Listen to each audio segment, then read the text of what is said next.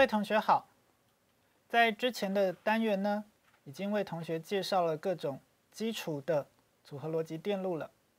那么在这个小单元里头，我们要利用一个七段显示器的电路来使用前面介绍过的这些组合逻辑电路来实现它。那么我们就赶紧来看看，好，今天要为同学讲述什么样的内容啊？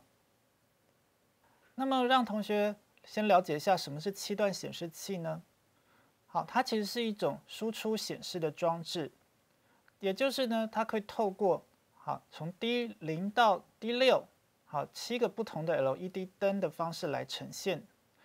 当然呢，还会再加上另外一个小数点啊，所以实际上是八个 LED 灯来呈现我们的结果。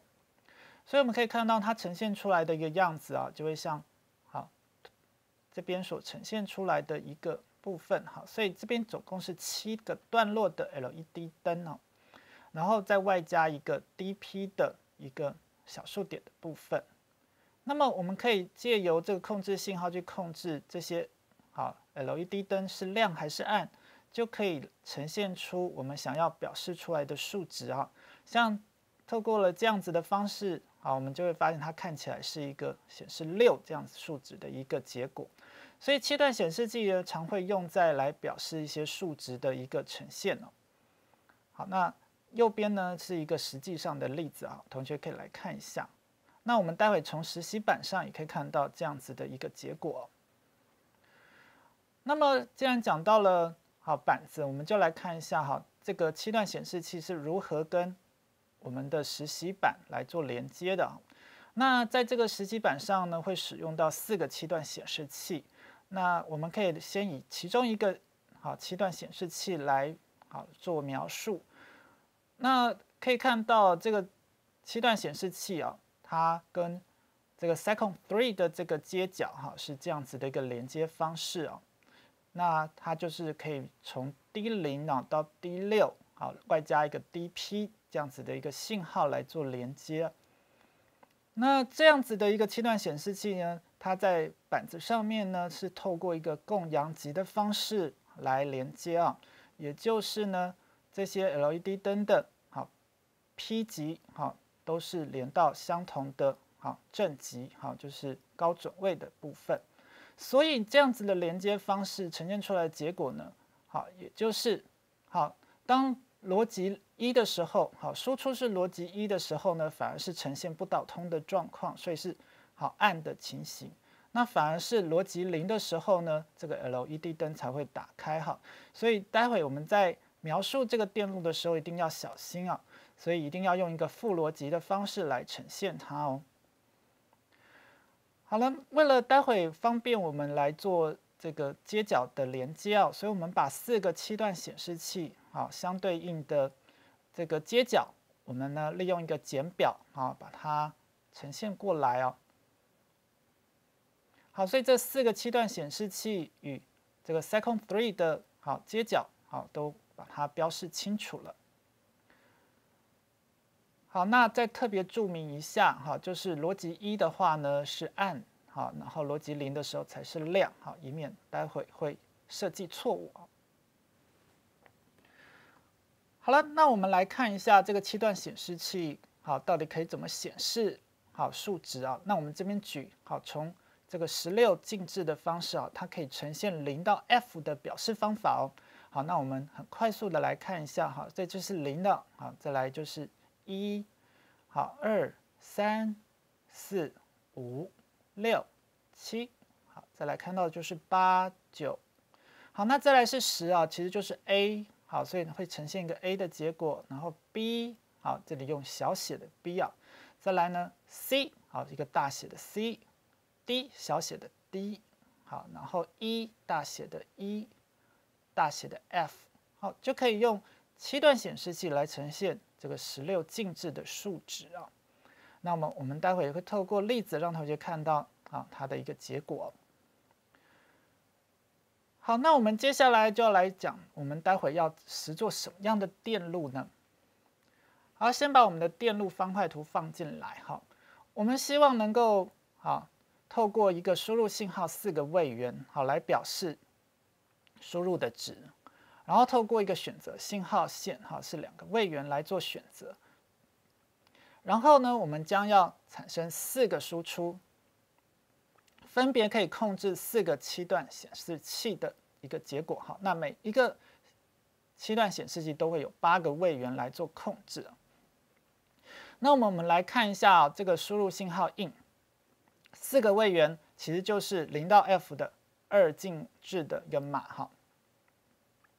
那这个 cell 呢是用来选择到底我们要打开哪一个七段显示器哈，选择到的才会打开啊，其他的七段显示器就让它呈现都暗的情形啊。好，那所以当然输出呢就是好个别好四个。七段显示器的控制信号，那每一个七段显示器都用八个位元来控制它。那么我们来想想看呢，如何来设计这样子的一个电路啊？在这里，我们先提出第一种架构。我们呢可以先将个别的七段显示器的电路先实现出来。好，所以它的输出就是八个位元。那我们第一个呢就去控制好。第一个七段显示器，把它叫做 seg 零呢。再来是第二个，以此类推，就有四个七段显示器。那我们来看到输入的信号，好，我们就是把这个二进制码呢，直接送到它的输入端 in 呢。另外，我们看到了这个智能的 en 呢，好，我们通常会用 en 来表示一个智能信号，其实跟前面讲过这个智能型的。解码器有点类似哈，也就是说呢，当它信号为这个零的时候，就是把这个七段显示器都关掉哈，一的时候才会正常的操作。所以呢，我们可以透过一个好 decoder 啊，然后将这个 cell 这个选择信号键送进来，透过 decoder 二到四的一个方式呢，来完成这个智能信号的打开还是关起来哈。所以我们会把这输出信号呢？好，这个二对四的四个位元分别拉出其中一个位元，接到后面这个四个七段显示器的智能信号端，就可以在同一个时间只会打开其中一个七段显示器，就可以完成这个电路的行为了。好，所以可以从这里看到这些智能信号是如何连接的。好，那再来呢？我们可以再想想看，除了刚才那种架构，有没有其他方式呢？好，那我们可以先只实现其中一个七段显示器的电路，然后后面呢，我们可以利用另一个电路来把它送到四个七段显示器。那这个电路可以是什么电路呢？就是一个。解多工器的电路，好，虽然在我们这次的课程头并没有介绍解多工器，不过正好利用这个架构二，让同学来看看怎么去实现一个解多工器的电路，哈。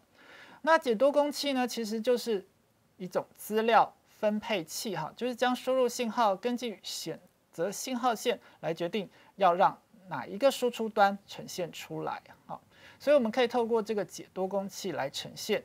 这样子的一个行为，哈，在同一个时间只有一个七段显示器会被打开哦。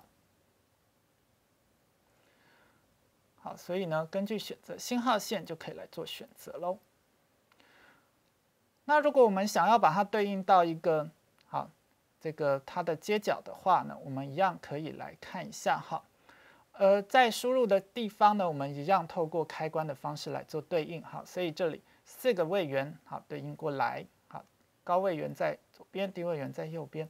好，再来 cell 一样哈。嗯，再来可以看到，就是输出就是四个七段显示器哈。那我们利用前面刚才好一个完整的简表哈来做一个对应。好，所以我们把该对应的输出接角好将它对应上去。那待会再进行这个接角定义的时候，就按照这个部分来进行连接就可以了。不过这里再特别提醒一下哈，就是还是要把它的高位元跟低位元标示清楚，以免待会接线的时候产生错误，那就会变得很麻烦了。好了，那我们接下来来介绍如何来实现其中一个七段显示器的一个控制信号啊。那么我们先将它的真值表列出来吧。好，我们分好零到七的部分来看哦。好了，那我们的输入信号啊，因为有一个智能信号 en 呢，还有输入信号 in，好，把它标示进来。那输出呢，就是针对这个七段显示器的好八位元的信号。好，那我们可以看到哈，最高位元是 dp 啊，就是小数点。好，然后再来对应到的其他部分。好。那我们再来可以看到的就是啊，好，一开始如果智能信号为零的话，不管输入信号是什么，输出一律为一。好，这里特别注意一下，我们前面讲过了，因为我们的七段显示器是一个负逻辑的一个部分啊，所以如果要让它为暗的情况下，必须把输出信号全部设为一啊，好，所以这里要特别小心哦。好，那我们看到第一个情况零的部分啊，所以智能信号为一。所以呢，我们就会呈现这样子的结果哈。同学可以自己对应一下哈。有打开的这个 LED 灯要设为零啊，没有打开的要设为一啊。那以此可以类推哦。好，所以我们可以继续往下看到的是一的部分，二的部分，好三。同学可以自己对应一下哈，四、五的部分，好六的部分，最后就是七的部分，好。那再来呢？我们可以继续往下写啊，把剩余的八到 F 的值一样用同样的方式把它标记上去。好，那同学也是一样可以对照一下哈。那对于这个八来说，就全部都是打开的啊，只有这个小数点是关起来的。好，所以我们就可以对应上去了。好，再来是九，再来就是 A 的部分。好，B、C、D、E 跟 F。好，那如果都把这个真值表给对应完成之后呢，我们就可以撰写它的 Verilog 的。好，那一样我们要先把界面标示清楚哈，所以好，这是我的习惯呢，也希望同学未来在设计电路都能够用一样的方式啊，把你的整个好规划图呢都把它先标记好，然后按照你的规划图来定义你的输入跟输出，这样就不会容易错误啊。好，那。同样的，我们可以利用这个行为描述模型哈，要记得宣告成 reg 的资料形态，然后位元素也都不能够错误哦。好，再来可以看到的就是内部的部分，好，所以我们可以将刚才的真值表把它放过来，好，所以又来看图说故事啊，所以把事件表示是好放进去，begin end，那么。看图说故事就是用 case 的模式来描述它。不过这里一样可以利用我们前面说有智能信号的方式，先拆成零跟一的情况。我们可以利用 if 跟 else 的方式，先把它二分了。所以这里呢，我们可以看到，好，就是这里的部分哈，全部都先关起来哈，所以设为一。再来呢，就是透过 case 的方式，再针对输入信号 in 来做分析。好，那我们就可以，这次呢，我们利用了一个好十六进制的方式来呈现这个条件哈，因为刚好我们输入就是一个好十六进制嘛，好，好，然后将输出标示清楚哈，记得哦，不要填错了哈，这个因为很容易填错啊，所以要特别小心哦。好，所以我们就可以逐步逐步的将每一个条件交代过来，然后。看图说故事，好，那我想呢，剩下的部分同学应该可以自己来完成了。那最后呢，一样啊，一直写到 F 的情况。那因为十六种情况都交代清楚了，所以呢就不用 default 了，所以直接用 end case 作为结束啊。再来是 end module，就可以完成这个个别的七段显示器的显示电路喽。各位同学。在这个小单元里头呢，我们先介绍了什么是七段显示器，然后并且呢，先定义我们接下来要实现的电路的行为，然后我们先用个别的七段显示器显示电路，啊，让同学来了解怎么样去撰写。那么在接下来小单元，我们要继续来实现整个电路结果，并且透过 FPGA 来实现它。谢谢大家。